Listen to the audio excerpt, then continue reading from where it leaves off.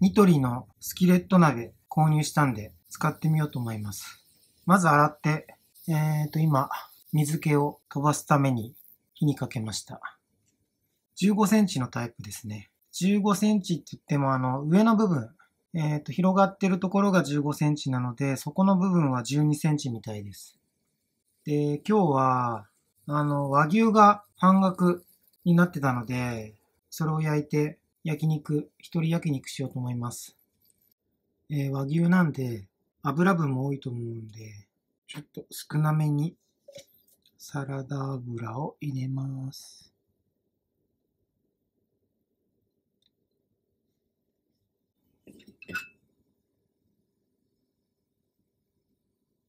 じゃあ焼いていきますか。そこが12センチしかないので、一枚一枚贅沢に焼いていこうと思います。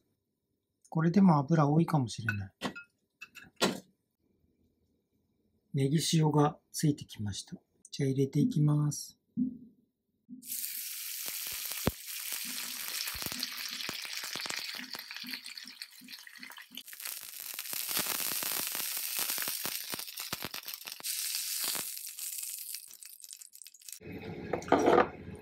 うん。めちゃくちゃうまい。グリル周りが油だらけです。えー予想通りサラダ油全然いらなかったですね。で卵一つあるんで、せっかくなんで目玉焼き作ってみようと思います。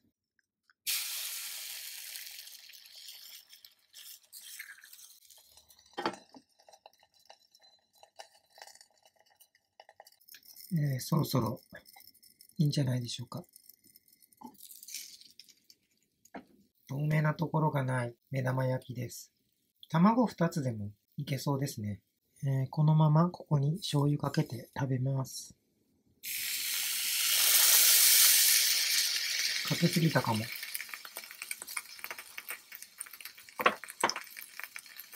ではまた。